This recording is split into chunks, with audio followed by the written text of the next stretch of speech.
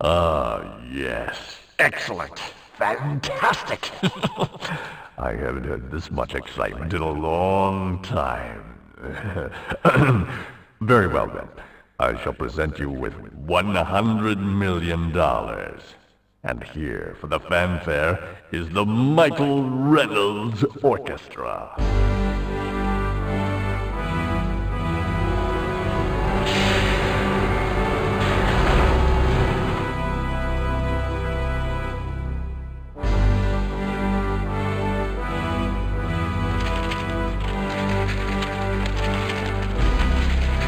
I'm a man of my word. Here, I present you $100 million.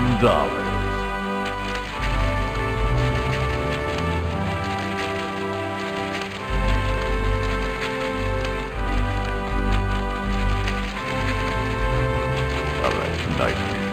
Hope to see you again someday. Congratulations. Good luck. Bye-bye.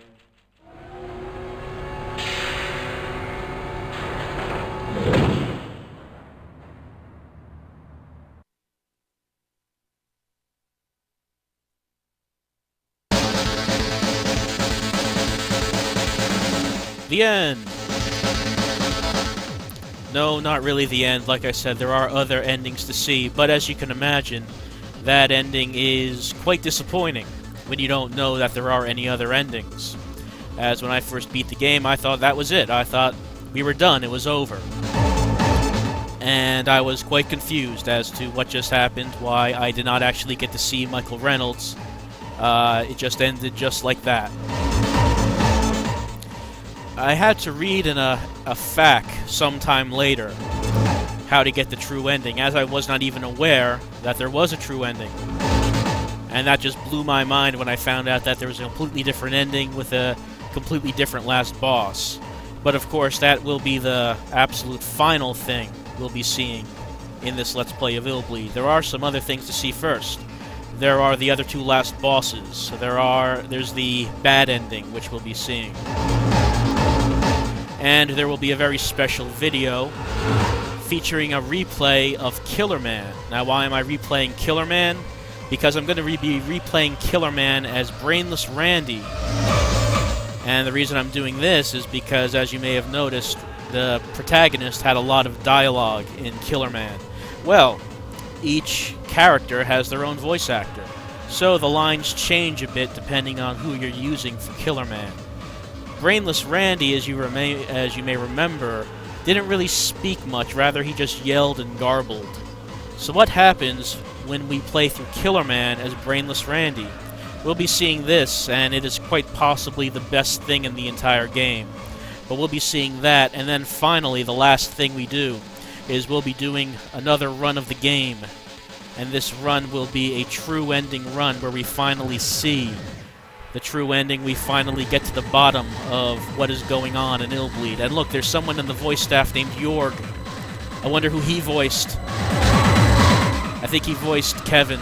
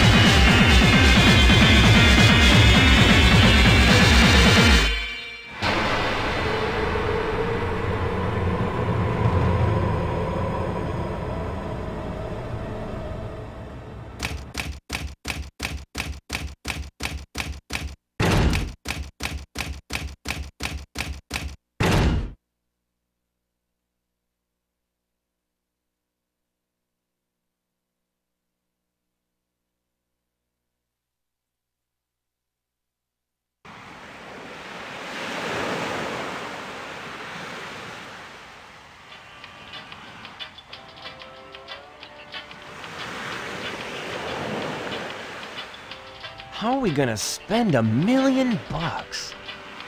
I bought 385 different kinds of Freddy dolls, and I still have a lot left. I invested in the stock market. You really trust the stock market? I don't know. I think so. Oh, Eriko, what's wrong? oh, nothing. Never mind. She's probably in one of her philosophical moods. Hey, Eriko, are you thinking of your secret love or something? Maybe it's me. yeah, I wouldn't mind that at all.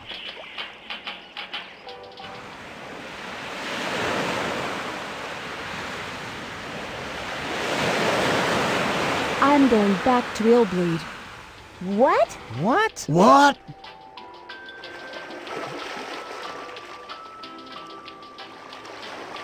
Mm, if she goes, I go. Thanks, Randy, but this time I have to go alone. Why? What's going on? Kevin, butt out! She doesn't need a guy right now, okay? Wait for me, guys. If I make it back, I'll probably be a changed girl. We'll be right here, waiting and praying. I'm sure you'll make it through, but be careful and don't change too much. If you get into trouble, try and telepathically communicate with me, okay? I can be at your side in no time. Right. Thanks a lot, guys. I love you all.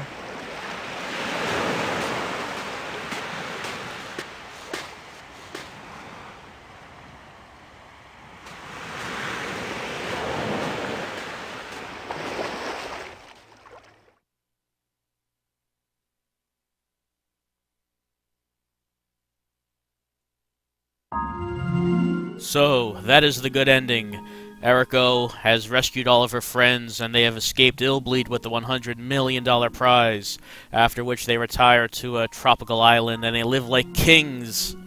Though Eriko is not satisfied with what happened at Illbleed, and she, for some reason, has decided to go back. This is the lead in for the true ending run, which you can only get by playing the game a second time and playing it a different way than how we played it the first time.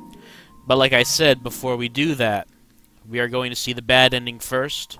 We are going to see the other two optional bosses that we could have picked. And we are going to be seeing Brainless Randy starring in Killer Man. As well as seeing a particularly worthless minigame that you can also play in Illbleed that was popped in as a little Easter egg by the developers, I suppose.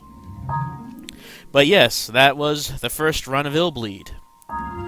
And if you thought at the beginning of the game that what we were seeing was going to eventually make some kind of sense, then I guess the joke's on you. Because, as we can see, that never actually happened. In fact, it just got more and more and more confusing as time went on. So, we're going to save our game for the New Game Plus when we get the true ending. And next time on Let's Play Illbleed, it's time for the other two last bosses and the bad ending. I'll see you then.